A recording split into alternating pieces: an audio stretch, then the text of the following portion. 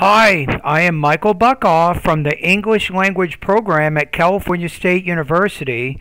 San Bernardino and you are one of my students and you just completed a TOEFL independent writing practice test. And uh, I'm going to go ahead and read and comment and make any corrections with your essay so you can know what you need to do to improve your writing and ultimately so you can score higher on the writing section of the TOEFL IBT exam. Now, I'm also the founder and the materials writer for OnlineTOEFLCourse.com and also for BetterTOEFLScores.com. I scored your essay at 3.25 out of 5 or 20 points out of 30. Now, in our class, according to the syllabus, that will translate into 325 is 79%. That's a grade I'm going to give you on this writing. Now, why did I give you this score that I did? So let's take a look at, at where you are. I, I look in the 3 area, right? I'm putting at a low 3 here. So um, I think you have some problems with sentence formation, word choice. You have accurate but limited range sentence structures and vocabulary. So I think it's a lot of it is either, either your word choice or your grammar and I think that's bringing your score down a bit. Okay, so let's take a look at each essay now. University life. What if you did this instead of saying university life it and we make this is um,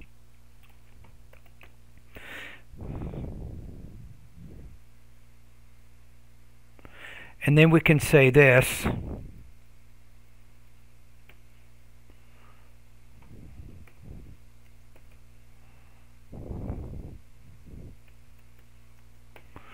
So, university life, playing an essential part in our lives, prepares us for our future careers to be um, a success in our jobs.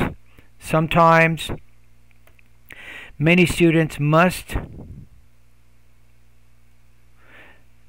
I'm just going to say must live. So, just say many students must live with roommates while they you can't miss your verbs, even in your dependent clauses. You got to make sure your if you have a complex sentence, you'll need to have a subject and a verb in the independent clause and a subject and a verb in the dependent clause.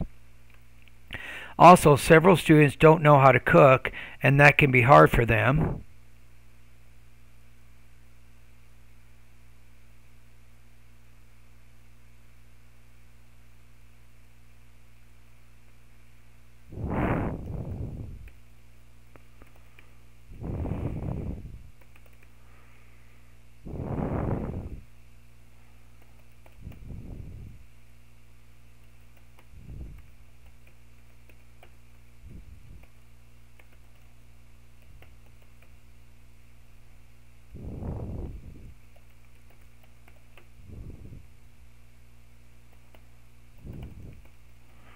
Maybe put that. Say also, several students, um, I don't know, several students. That's too specific. You don't want to be that specific. I would just say many. Many students don't know how to cook or do other independent tasks, such as paying bills and cleaning living spaces.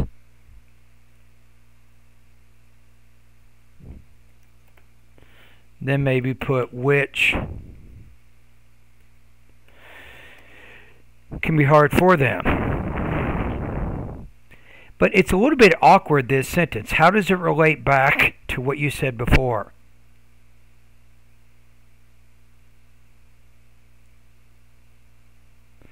So you're saying that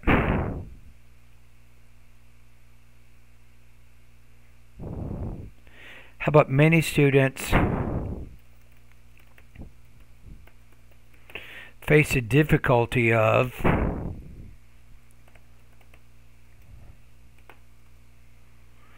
So sometimes many students face a difficulty of having to live with roommates while they attend universities. Also,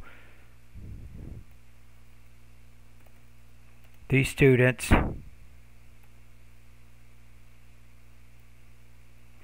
will put may not know how to cook or do other independent tasks such as paying bills and cleaning living spaces, which can be hard for them.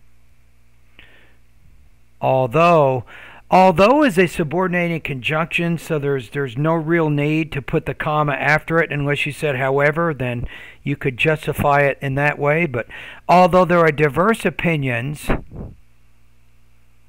although there are many diverse opinions about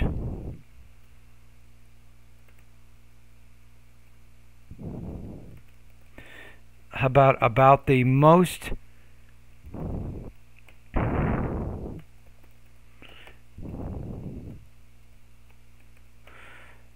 important qualities of roommates to be friendly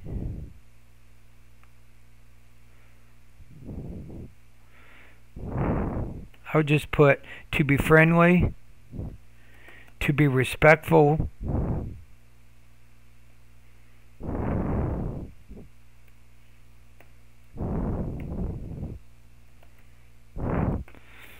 and to be responsible.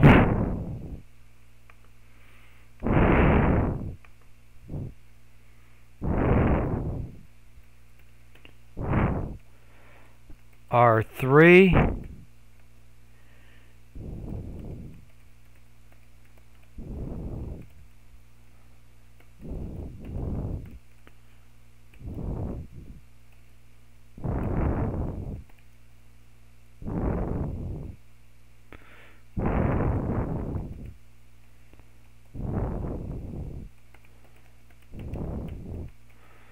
maybe like that. Okay, let's check the paragraph length here. So we have, it's about 100 words. So, university life playing an essential part in our lives prepares us for our future careers to be a success in our jobs. Sometimes many students face a difficulty of having to live with roommates while they attend universities.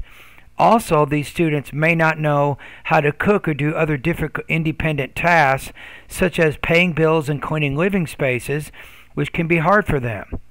So, what I did here to make it fit together is I put face a difficulty in the one sentence before it and then here I put which can be hard for them.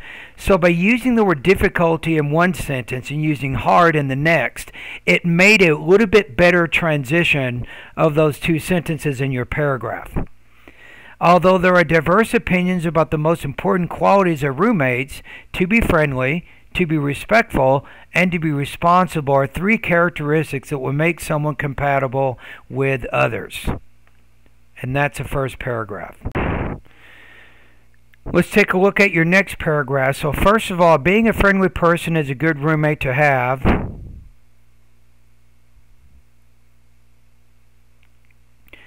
We can enjoy some time together. Or how about being being friendly?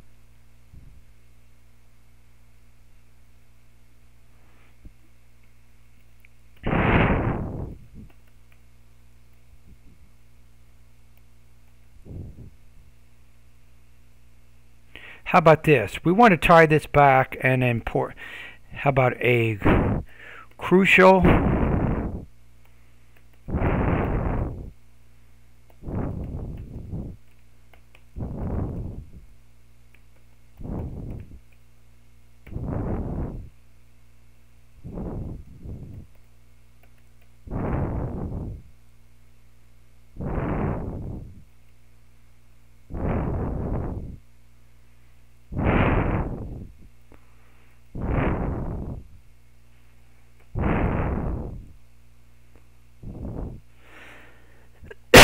try not to be to uh, crucial trait being friendly allows.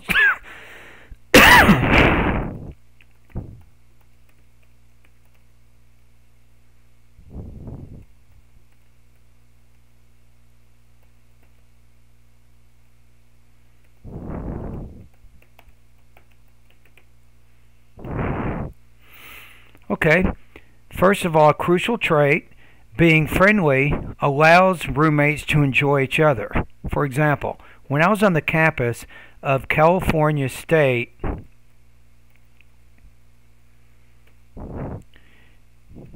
University San Bernardino, and I would separate this because this whole area you have to look at this as a as a dependent clause. I had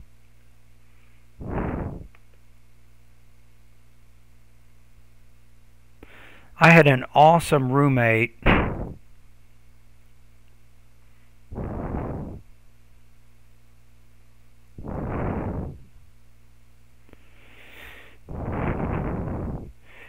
And instead of his, I'm going to say who's here, whose name is John. I had an awesome roommate whose name is John.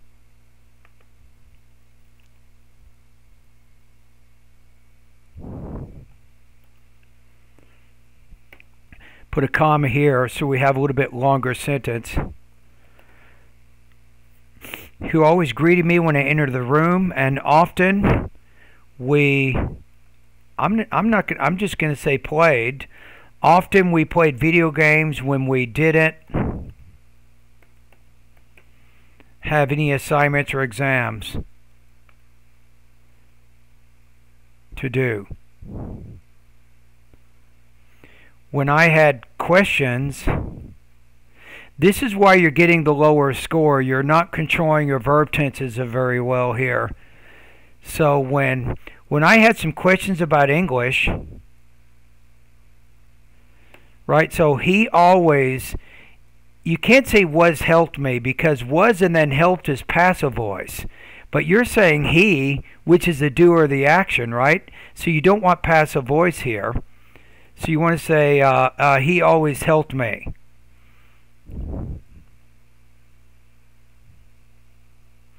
You can say furthermore.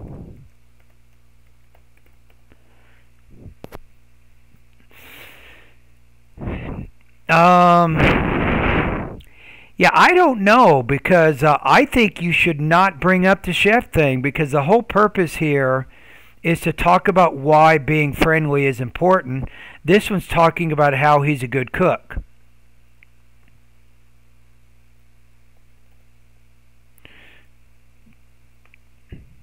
So I think we don't want to bring up this idea. We need to we need to stay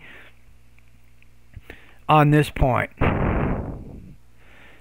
So what I did is, is I deleted the, the area about being a cook and I stayed on the friendliness idea up here.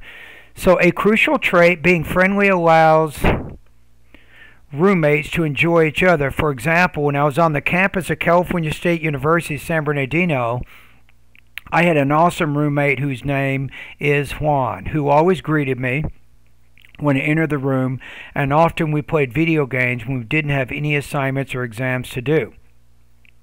When I had some questions about English, he always helped me. After spending several months together, I told him one day he was one of the best friends I had ever made during my stay in the U.S. In fact, until today, even though I'm in Saudi Arabia now, I think of Juan like a brother.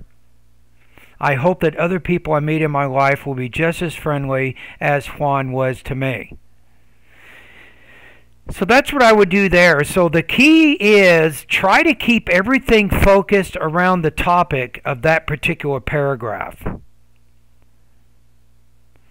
Okay, then you say, second, being responsible is an important feature of a roommate. If we're responsible, we will avoid. I'm going to put if roommates are responsible. They will not get into how about inter personal conflict, something like that.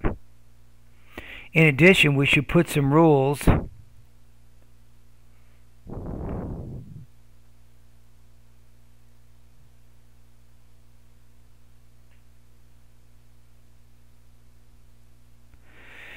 I don't know. Let's see. We should put some rules when we're living together. No one can break through them. We must not ignore.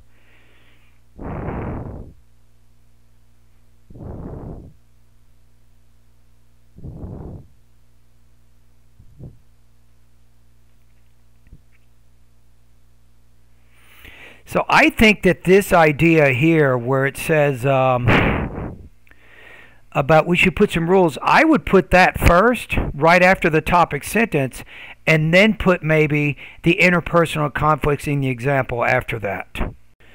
Okay, so here's how the paragraph looks. So, second, being responsible is an important feature of a roommate. To maintain an orderly and harmonious atmosphere, roommates should set some rules, and if everyone living in that apartment is responsible, then he or she will not ignore the rules, thus helping them to avoid interpersonal conflicts. To illustrate, I know one of my friends you want to put who, you need an adjective clause here.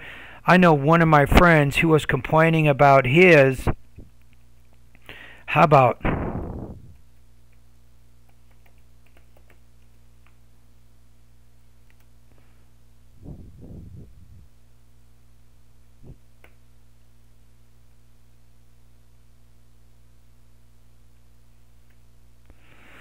So look at what I'm doing here. I'm trying to keep this paragraph a little bit better connected. So irresponsible here. Uh, we have responsible here. We have responsible here. So I know one of my friends who was complaining about his irresponsible roommate because he didn't wash the dishes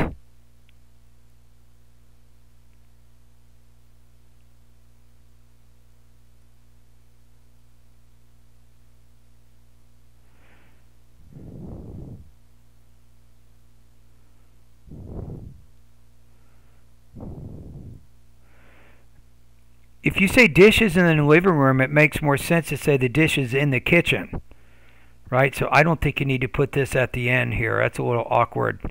He didn't wash the dishes, nor did his roommate ever clean the living room.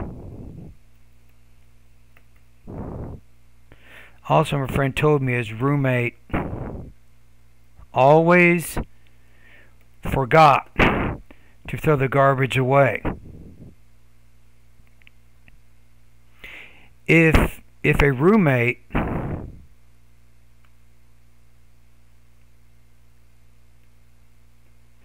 I'm going to put just A in general, right? You're just saying if a roommate is taking charge of his or her work, he or she will be a more responsible person.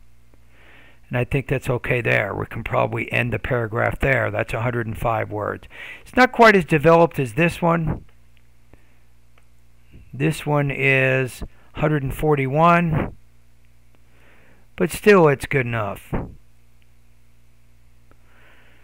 Okay, finally, let's look at your next paragraph. And this is the one you kind of ran out of time on this paragraph. It probably would have been better if you just omitted it and not even use it because both of these paragraphs are fairly well developed. But once you put it in there, I got to I got to evaluate it. I have to evaluate how developed it is, how roommates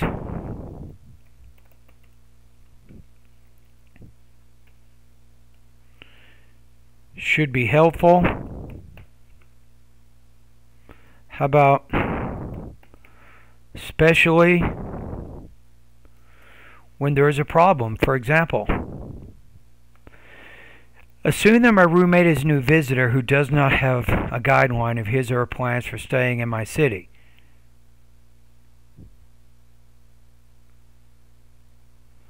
Okay. I will tell him or her what the good places are for enjoyment. So I will be helpful by, right? So now let's work on this. We need to develop this a little bit more. So it's 46. We need about 100 words here. That shows a fairly good uh, paragraph. So let's see what we can do to develop it a little more. So if you develop this paragraph, it might look like this. You talked about, you know, understanding the different things in the city and all that, but it's too much you're going to talk about too many different things. So how about this? You might say, finally, roommates should be helpful, especially when there's a problem. For example, assume that my roommate is a new visitor from another country who does not know how to get a California state driver's license. I will be helpful by taking him to the Department of Motor Vehicles so that he can take the written and driving test. And maybe too many so that to qualify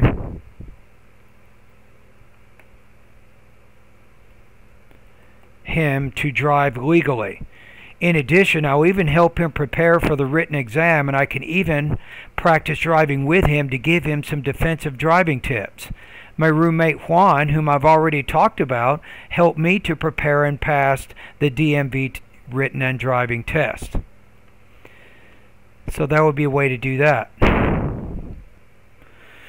Okay, so in the very end, you have to sum up. So we have our conclusion here. So it's it's sometimes a pretty good strategy. Put a transition word in there.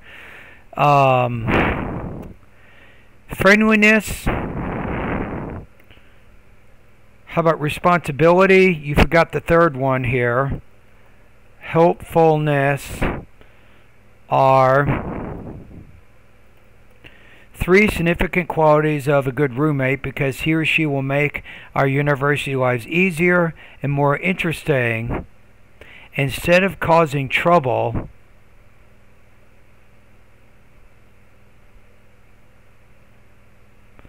how about instead of causing trouble, comma, let's say uh, boredom, comma, and how about conflict?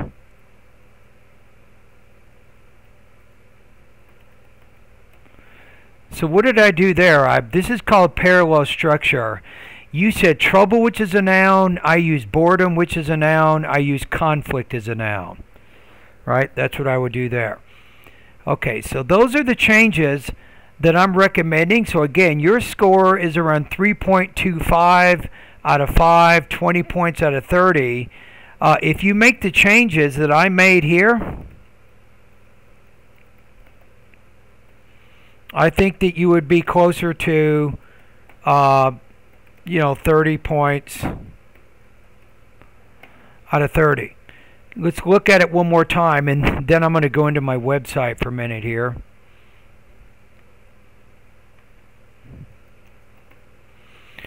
Okay, university life playing an essential role in our lives.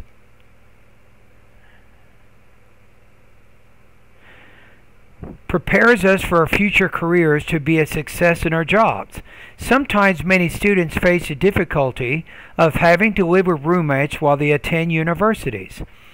Also, these students may not know how to cook or do other independent tasks such as paying bills and cleaning living spaces, which can be hard for them.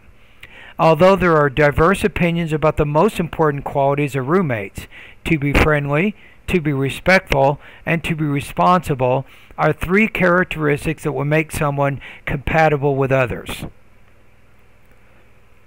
First of all, a crucial trait, being friendly allows roommates to enjoy each other. For example, when I was on the campus of California State University, San Bernardino, I had an awesome roommate whose name is Juan, who always greeted me when I entered the room, and often we played video games when we didn't have any assignments or exams to do. When I had some questions about English, he always helped me. After spending several months together, I told him one day that he was one of the best friends I'd ever had during my stay in the U.S. In fact, until today, even though I'm in Saudi Arabia now, I think of Juan like a brother to me. Or how about this? I think of Juan like a brother. I hope that other people meet in my life will be just as friendly as Juan was to me. Second of all, being responsible is an important feature of a roommate. To maintain an orderly and harmonious atmosphere, roommates should set rules. And if everyone living in that apartment is responsible, then he or she will not ignore the rules, thus helping them to avoid interpersonal conflicts. To illustrate, I know one of my friends who was complaining about his irresponsible roommate because he didn't wash the dishes. Nor did his roommate ever clean the living room. Also, my friend told me his roommate always forgot to throw the garbage away. If a roommate is taking charge of his or her work, he or she will be a more responsible person.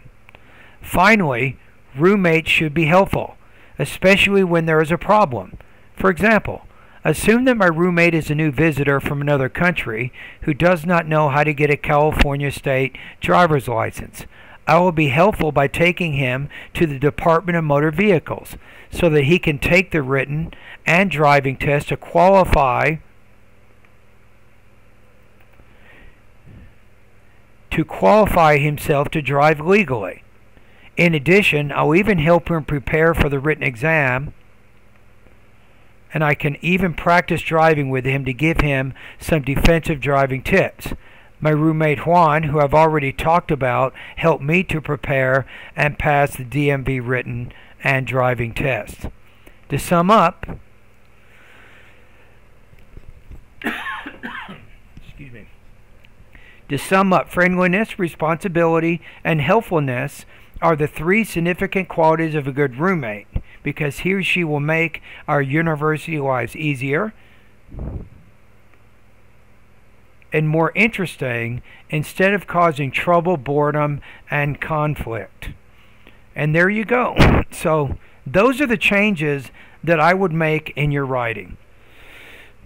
So, based on your writing and your level right now, I have some ideas about specific lessons in my online TOEFL course you can study in order to improve your overall writing proficiency. And of course, you can improve your TOEFL writing score uh, as a result.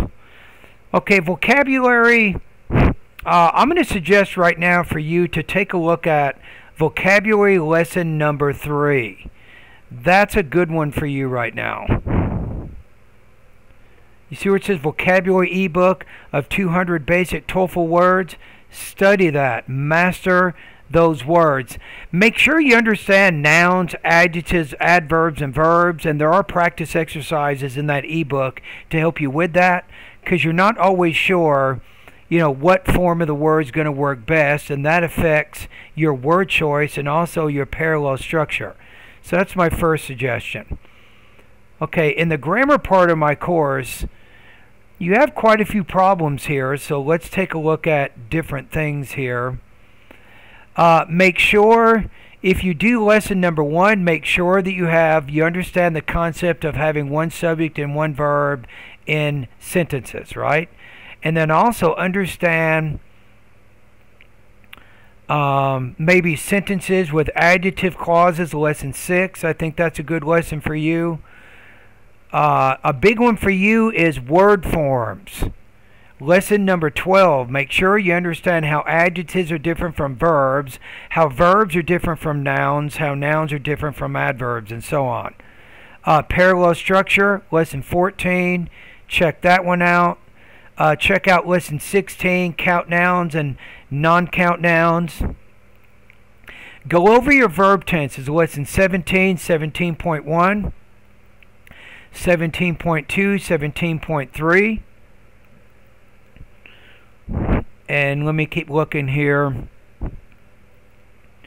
Uh, lesson 25, comma splices, run-on sentences and fragments. Check that one out. Okay, how about... Okay, let's go to the writing part. So you understand the overall concept, I think, of, of writing, but I think sometimes you want to you want to keep that that really specific focus within each paragraph, and I have exactly the writing lesson that can help you with that. Uh, how about a couple of things? This lesson, lesson 5.5, how to show depth and complexity of thought. Go over that lesson, then writing the perfect paragraph and check that one out. I think that'd be a good lesson. And thank you for doing this writing practice test. Uh, I hope that you've gotten some ideas on some things that you can do to improve your writing. So let's just kind of do a quick recap. So as we went through the video, uh, I made a few changes, uh, sentence structure, word choice type issues.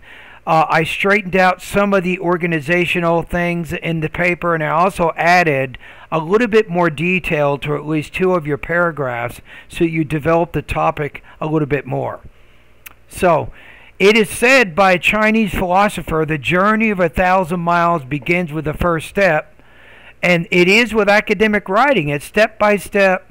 Uh, follow my suggestions, study the recommended lessons, and then keep doing some writing practice tests, and I'll grade them as you send them to me, and I'll give you a score so you can have a general idea how you're doing. All right, and thank you for completing this practice test, and uh, keep up the good work.